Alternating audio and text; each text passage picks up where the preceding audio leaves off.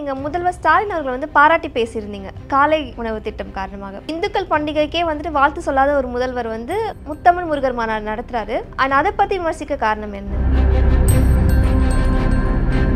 சனாதன தர்மத்தை எதிர்ப்போம் அழிப்போம் அப்படின்னு சொன்னதுக்கு ஒரு ஆக்ஷன் எடுத்திருக்கணும். ஆர் ஆசா அவர்கள். தொடர்ந்து அவதூறாக பேசிய போது ஏதாவது ஆக்ஷன் எடுத்திருக்கணும். கந்த சஷ்டி கவசத்தை பற்றி எவ்வளோ கேவலமாக பேசிட்டு அது மேலே எந்த ஒரு ஆக்ஷனும் எடுக்காம ஆறு பேர் வந்துட்டு ஹிந்தி சூஸ் பண்ணிக்கலாம். ஒருத்தர் மலையாளம் ஒருத்தர் வந்து ஒடியா சன்ஸ்கிரிட் கூட சூஸ் பண்ணிக்கலாம். ஸோ அதுக்கெல்லாம் வந்துட்டு ரிசோர்ஸ் கண்டிப்பாக இருக்காது இல்லைங்களா? ஸோ ஆறு பேர் ஹிந்தி சூஸ் பண்ணும்போது ஆட்டோமேட்டிக்காக எல்லாரும் ஹிந்தி படிக்க அப்படி தானே சொல்லுவாங்க. ஸோ அது ஒரு இன்டெரக்டாக ஹிந்தியை திணிக்கிற மாதிரி நிச்சயமாக கிடையாது. எல்லாருமா கலந்து பேசி மையக்குழுவுடன் பேசி அண்ணாமலைஜி அவர்களோடையும் கன்சல்ட் பண்ணி அப்படிதான் டிசிஷன்ஸ் வில் பி டேக்கன் முதல்ல என்ன சொல்லுவாங்க? தமிழ் கடவுள் அப்படிம்பாங்க. இதே நார்த்லேயே கார்த்திகேயன் என்று அவர் வழிபடுப்புகிறார் அதை வந்து காதில் வாங்கிக்க மாட்டாங்க. இனிமே நாங்க இனிமே இந்த இந்து மதத்தையோ இந்து நம்பிக்கைகளையோ கொச்சைப்படுத்த மாட்டோம் அப்படின்னுட்டு கேரண்டி கொடுக்குறாங்களா அவங்க? ஐ திங்க் அண்ணாமலைஜி அவர்களோட ஸ்பீச் அது. One of his best speeches I think his ஸ்பீச்சஸ்லேயே நான் இது வரைக்கும் கேட்டிருக்கிறதுல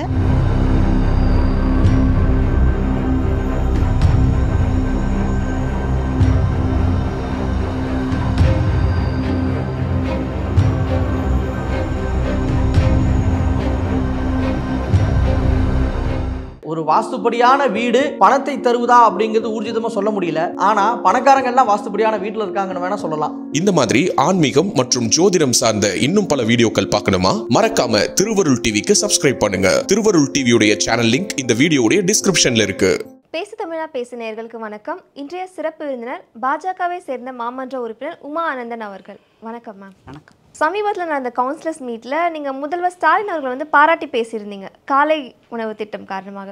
ஸோ ஒரு நல்ல காஸ்க்காக செய்யப்பட்ட விஷயத்த நீங்கள் பாராட்டி பேசுகிறீங்க அதே மாதிரியான ஒரு சம்பவம் தானே மேம் முத்தமிழ் முருகர் மாநாடு. அதாவது இந்துக்கள் பண்டிகைக்கே வந்துட்டு வாழ்த்து சொல்லாத ஒரு முதல்வர் வந்து முத்தமிழ் முருகர் மாநாடு நடத்துகிறாரு ஆனால் அதை பற்றி விமர்சிக்க காரணம் என்ன? சரி ஃபஸ்ட்டு நீங்கள் வந்து நான் அந்த காலை சிற்றுண்டிக்காக தான் அது ஏன் பாராட்டினேன்னா வேற அதை உடனிருந்து சாப்பிட்ட ஒரு பேரண்ட் அவங்களே அப்ரிஷியேட் பண்ணாங்க.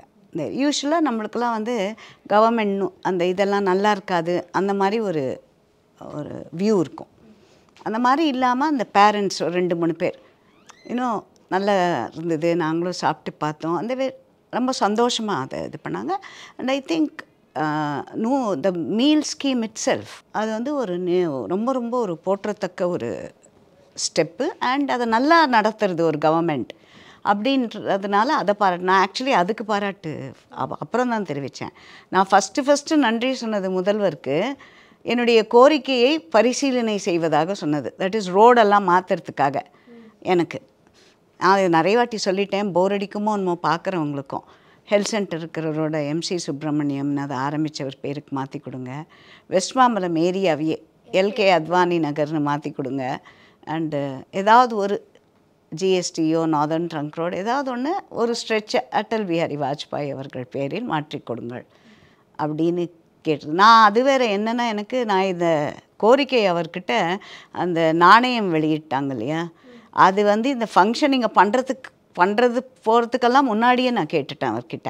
அதில் என்ன அந்த லைனை வேறு ஆட் பண்ணேன் நீங்கள் கேட்டதுக்கு மத்திய அரசு வந்து பெருந்தன்மையோட அந்த நாணய இதுக்கு ஒத்துக்கிட்டு இருக்காங்க ரிலீஸ் பண்ணேன் அப்போ வந்து எங்களுக்கு இந்த மாதிரி ஒரு ஃபங்க்ஷன் பண்ண போகிறாங்க ராஜ்நாத் ராஜ்நாத் சிங் வந்து செய்ய போகிறார் அப்படி ரிலீஸ் பண்ண போகிறார் அப்படிங்கிறதெல்லாம் தெரியாது. அதுக்கு முன்னாடி நான் சொன்னேன் பெருந்தன்மையாக ஒத்துக்கிட்டு இருக்காங்க. ஸோ இதே பெருந்தன்மையை தான் உங்ககிட்டயும் நான் எதிர்பார்க்குறேன் அப்படின்னுட்டு கேட்டேன். அதுக்கு தான் அந்த ராஜ்பவன் நிகழ்ச்சியிலையும் அவர்கிட்ட கூப்பிட்டு அதை கேட்டதுக்கு ஞாபகப்படுத்தினது. அது இதை கொஞ்சம் ஃபேவரபுளாக பரிசீலனை பண்ணுங்கள் நான் பேப்பர்ஸை கொடுத்துட்டேன் அப்படின்னு சொன்னதுக்காக அதில். சி எது எதுக்கு பாராட்டணும்னு இருக்குது நான் வந்து இப்போ முத்தமிழ் முருகன் மாநாடு. அதுக்கு பதிலாக என்ன பண்ணியிருக்கணும் அவங்க? முன்னாடி இதே அரசாங்கம். இதில் சனாதன தர்மத்தை எதிர்ப்போம் அழிப்போம் அப்படின்னு சொன்னதுக்கு ஒரு ஆக்ஷன் எடுத்திருக்கணும். இல்லை எங்களுடைய தெய்வங்களை பற்றி எங்கள் இதை பற்றி அவருடைய கட்சி சீனியர் ஆர் ஆசா அவர்கள் தொடர்ந்து அவதூறாக பேசிய போது ஏதாவது ஆக்ஷன் எடுத்திருக்கணும். யூடியூப் ரூட்டர்ஸ்ன்றவங்க நடராஜரை பற்றி அதுக்கோ கந்த சஷ்டி கவசம் கந்த சஷ்டி கவசத்தை பற்றி எவ்வளோ கேவலமாக பேசிட்டு இன்றைக்கி அதை பற்றி அது மேலே எந்த ஒரு ஆக்ஷனும் எடுக்காமல் இன்னும் வேலை பா வெந்த புண்ணில் வேலை பாய்ச்சுற மாதிரி சுகி சிவம் என்பவர். பழனியில் இருக்கிறது முருகரே இல்லை. அப்படின்னு சொன்னவரையும் நீங்கள் மேடையில் ஏற்றி பேச வைக்கிறங்க. And what is the intention first இது யார் கண்டக்ட் பண்ணுறாங்க இதை? அரசாங்கம் கண்டக்ட் பண்ண முடியாது. இது ஒரு செக்யூலர் அரசாங்கம் இதில். எப்படி யார் இதுக்கு பணம் எங்கேருந்து வருது? இதுக்கு எவ்வளவு செலவாக இருக்கிறது ஏன்னா நீங்கள் அந்த தீர்மானங்கள்லாம் படித்தா இதை பண்ண போகிறோம் அதை பண்ண போகிறோம் வருஷா வருஷம் இனிமேலாம் போட்டிருக்காங்க. இது. இதுக்கெல்லாம் தான் ஒரு ஆன்சர் ஒரு டிரான்ஸ்பரன்சி இருக்கணும். நான் வந்து அது என்ன சொல்லுவாங்க படிப்பது என்னமோ இடிப்பது பெருமாள் கோயிலை அப்படின்னு ஏதோ சொல்லுவாங்க அந்த மாதிரி நாங்கள் இந்துக்களை எவ்வளோ விதத்தில் கேவலப்படுத்த முடியுமோ எல்லாம் பண்ணுவோம். கேவலப்படுத்துகிறவங்களுக்கு மேலேயும் நாங்கள் எந்த வித நடவடிக்கையும் எடுக்க மாட்டோம்.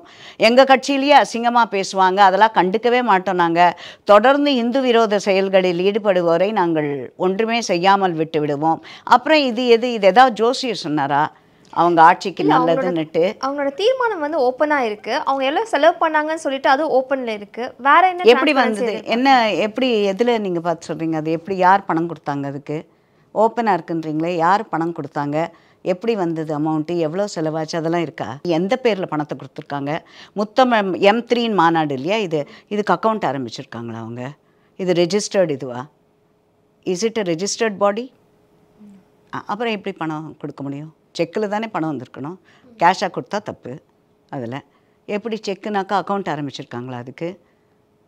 எப்படி ஆரம்பித்தாங்க எந்த பே எப்படி எ- எந்த பேங்க்கு all these details are there with you then how can you say there is transparency Murugan மாநாடு பற்றி கேட்குறீங்க. இதை பாராட்ட வேண்டும் அப்படிங்கிறீங்க. நான் இப்போ கேட்குறேன். அதில் யா சுகி சிவம் என்று ஒருவர் அது பழனி முருகனே இல்லை அப்படிங்கிறாங்க. இவங்களோட ஃபைண்டிங்ஸ் என்ன? வேர் வாஸ் த நீட் சி மலேசியாவில் நடத்துகிறாங்கன்னா மலேசியாவில் முருகன் ஸ்பெஷல் காட் அன்னைக்கு தைப்பூசம் அதுக்கெல்லாம் கவர்மெண்ட் ஹாலிடேயே கொடுக்குறவங்க. அங்கெல்லாம்.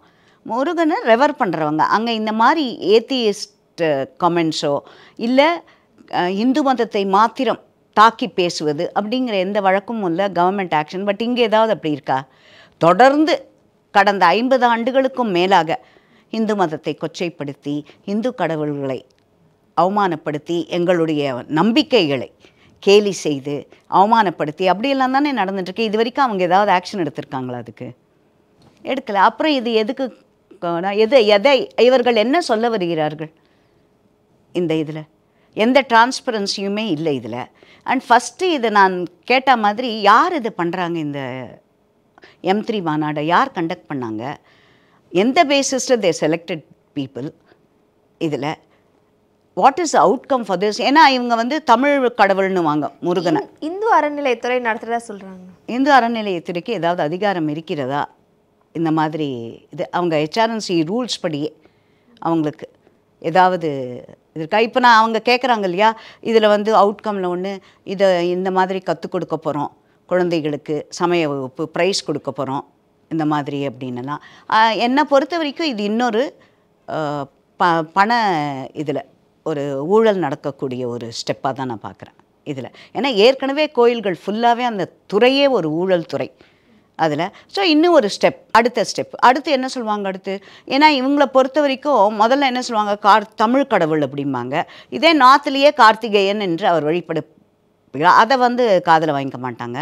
இவங்க அப்போ தமிழ் கடவுள் முருகனை போற்றுகிறார்கள் என்றால் அவர்கள் அப்பொழுது அவங்க வந்து நாங்கள் விஆர் இந்த இந்த நம்பிக்கை உள்ளவர்கள் என்று ஒப்புக்கொள்கிறார்களா? இனிமே நாங்கள் இனிமே இந்த இந்து மதத்தையோ இந்து நம்பிக்கைகளையோ கொச்சைப்படுத்த மாட்டோம் அப்படின்னுட்டு கேரண்டி கொடுக்குறாங்களா அவங்க? இதில். ஏன்னா எல்லாரும் கேட்குறாங்க அவங்க நல்லது பண்ணியிருக்காங்க ஏன் அதை குறை சொல்கிறீங்க அப்படின்னுட்டு. இல்ல அவங்களுக்கு நம்பிக்கை இல்லைனாலும் இந்துக்களோட நம்பிக்கையை மதிச்சு இந்த விழா எடுத்து அடுத்து என்ன கிறிஸ்டின்ஸ்க்கு ஏதாவது பண்ண போகிறாங்களா அவங்க? ஏன்னா கவர்மெண்ட் செக்யூலர் ஸோ அவங்க ஒரு மதத்தை மதத்திற்கு மாத்திரம் இப்படி விழா எடுக்கிறது செக்குலர் இதில் கான்ஸ்டிடியூஷனல் இதுபடி தப்பு. அப்போ எந்த விதத்தில் அதனால் அதுக்காக தான் கேட்டேன். யார் கண்டக்ட் பண்ணாங்க அப்படின்னுட்டு.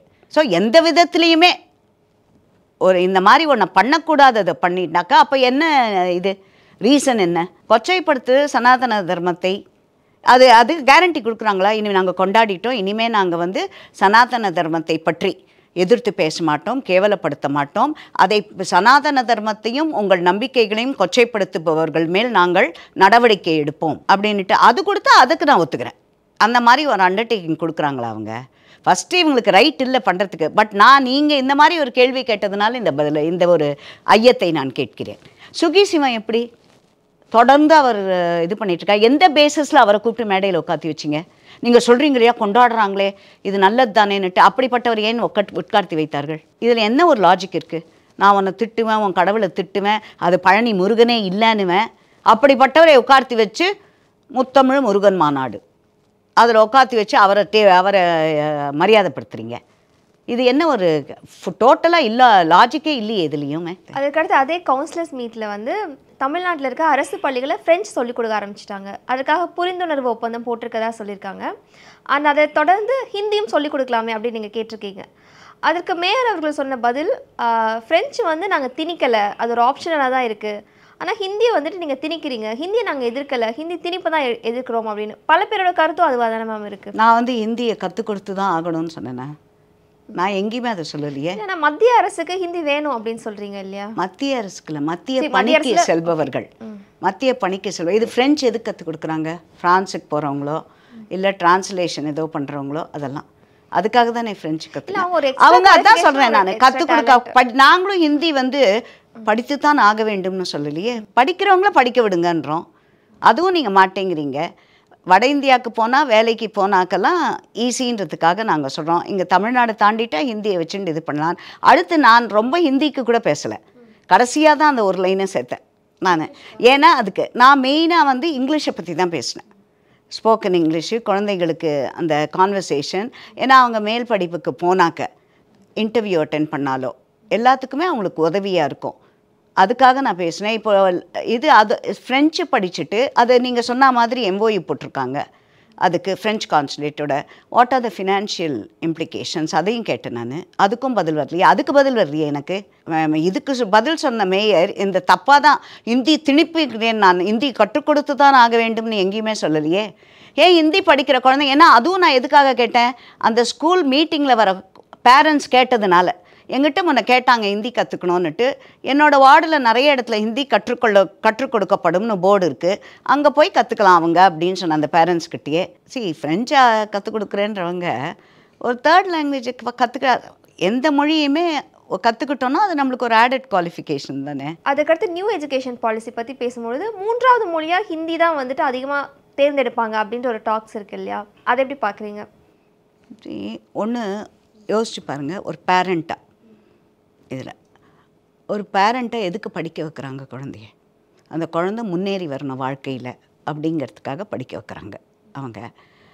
எந்த கோர்ஸ் படிக்கிறது என்ன படிக்கிறது அப்படிங்கிறத சிறு வயசில் பெற்றோர் டிசைட் பண்ணுறாங்க ஒரு கொஞ்சம் விவரம் தெரிஞ்ச உடனே அந்த குழந்தைங்க சில வாட்டி டிசைட் பண்ணுறாங்க அவங்க பியர் சர்க்கிளில் போயிட்டோ இல்லை எக்ஸ்ட்ரா கோச்சிங் கிளாஸ் போச்சே எதை படித்தா நம்மளுக்கு எதில் நம்ம நல்ல ஒரு க ஈர்ப்பு இருக்குது எந்த ஒரு பிரான்ச்சில் அப்படின்னலாம் பசங்க டிசைட் பண்ணுறாங்க ஃப்யூச்சரில் எனக்கு வேலைக்கு நல்லா கிடைக்கும். நான் நல்லா சம்பாதிக்கலாம். நல்லா முன்னேறலாம் வாழ்க்கையில். அப்படின்னு these are all the common factors ஒரு கோர்ஸை நம்ம இது டிசைட் பண்ணுறதுக்கு இப்போ நான் அந்த பாயிண்ட்டு தான் ஃப்ரெஞ்சுக்கும் வந்தேன்.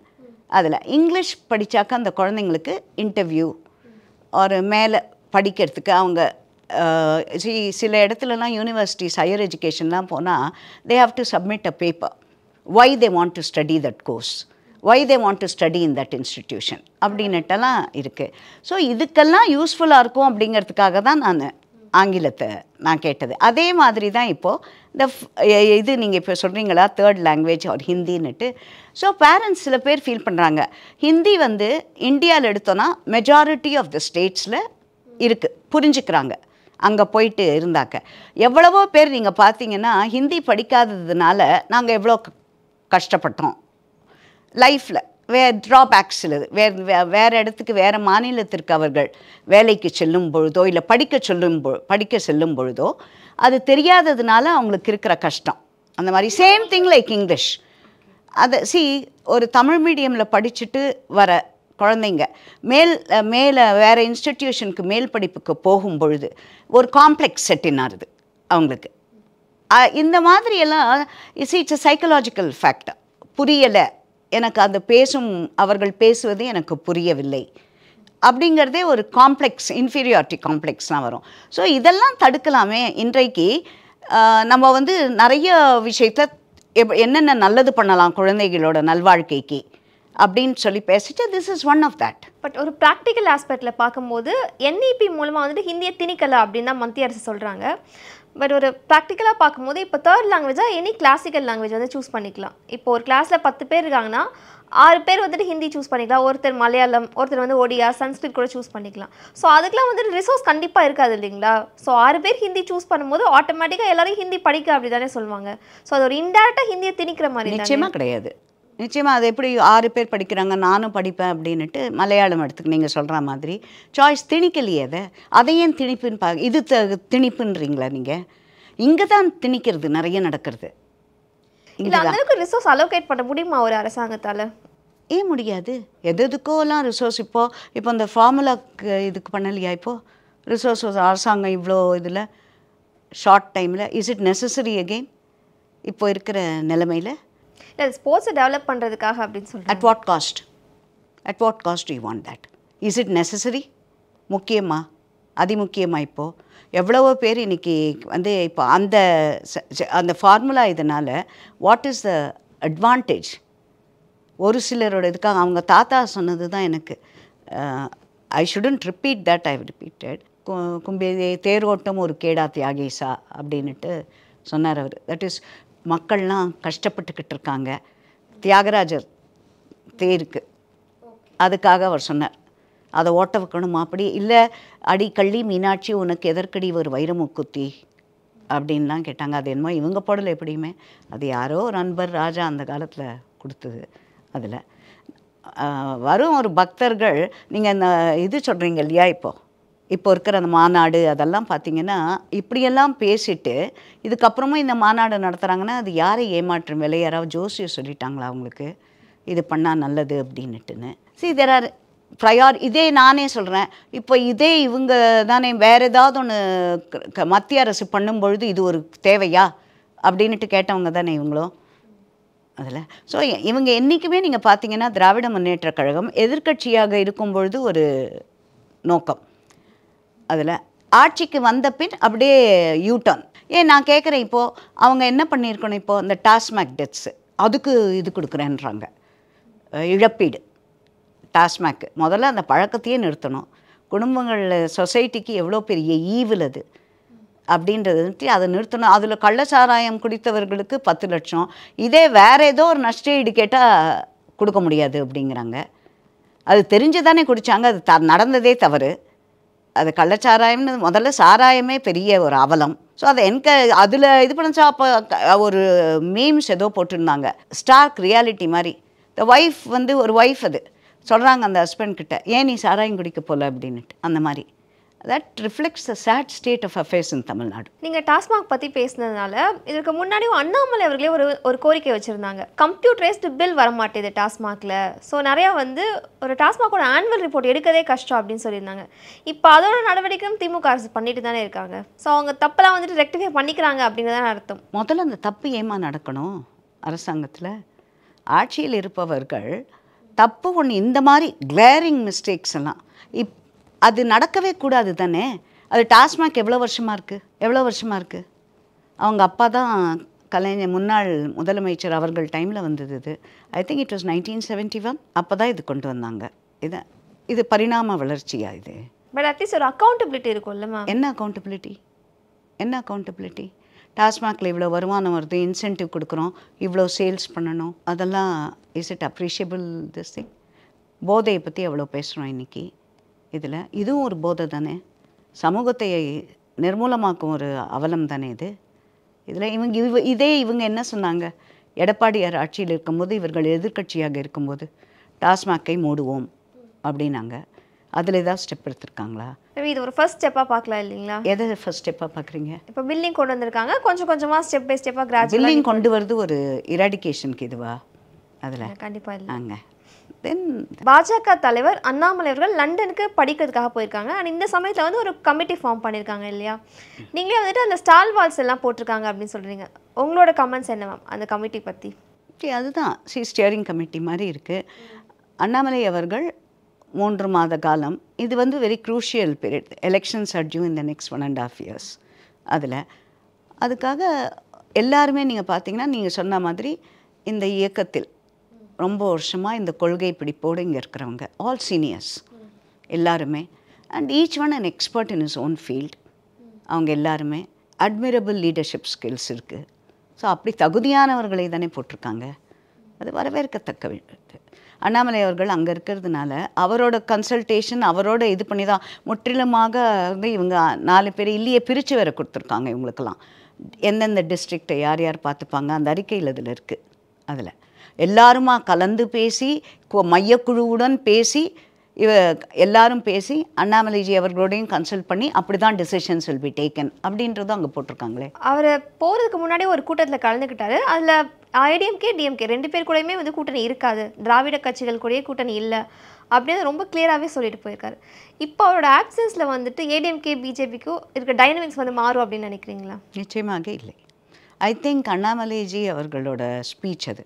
One of his best speeches I think his ஸ்பீச்சஸ்லேயே நான் இது வரைக்கும் கேட்டிருக்கிறதுல நிறைய தலைவர்களது கேட்டிருக்கிறதுல I think this ranks in that same this thing where that this is one of the best speeches I've heard. Like uh, Andal விஷயத்தில் H ராஜா அவர்கள் பேசியது பாம்பேயில் ஒரு வாட்டி எல்கே அத்வானி அவர்கள் அயோத்தியா இஷ்யூ பேசி இதெல்லாம் விபி சிங்கால் இந்த மாதிரி ஒரு one of the best speeches from a political leader உங்களோட பல கருத்துக்களை எங்களோட பகிர்ந்துக்கிட்டதுக்கு ரொம்ப நன்றி மேம் மிருகசீரிசம் நட்சத்திரத்தில் பிறந்தவனுக்கு காலில் கால் பாதங்கள் பிரச்சனையாக வரும். இப்போ நம்ம எல்லாருக்கும் ஒரு நோய் வாய்ப்படுறோம் அந்த நோய் வந்து உங்களுக்கு இருபது வயசுல வரணுமா? நாற்பது வயசுல வரணுமா? அறுபது வயசுல வரணுமா? எண்பது வயசுல வரணுமா? இந்த மாதிரி ஆன்மீகம் மற்றும் ஜோதிடம் சார்ந்த இன்னும் பல வீடியோக்கள் பார்க்கணுமா? மறக்காம திருவருள் டிவிக்கு சப்ஸ்கிரைப் பண்ணுங்க. திருவருள் டிவியுடைய சேனல் லிங்க் இந்த வீடியோடைய டிஸ்கிரிப்ஷன்ல இருக்கு. உலக தமிழ் சொந்தங்களுக்கு வணக்கம். நான் ராஜவேல் நாகராஜன். பேசு தமிழா பேசு வலையொலியுடைய வளர்ச்சிக்கு நீங்களும் உறுதுணையாக இருக்கணும்னு நினச்சிங்கன்னா இந்த வீடியோடைய டிஸ்கிரிப்ஷனில் இருக்கக்கூடிய ரேசர் பே லிங்க்கை கிளிக் பண்ணுங்கள் அந்த லிங்க்கில் போயிட்டு உங்களுக்கு விருப்பமான தொகையை பேசு தமிழா பேசுவனுடைய வளர்ச்சிக்கு உங்களுடைய பங்களிப்பாக நீங்கள் கொடுக்கலாம். நன்றி வணக்கம்.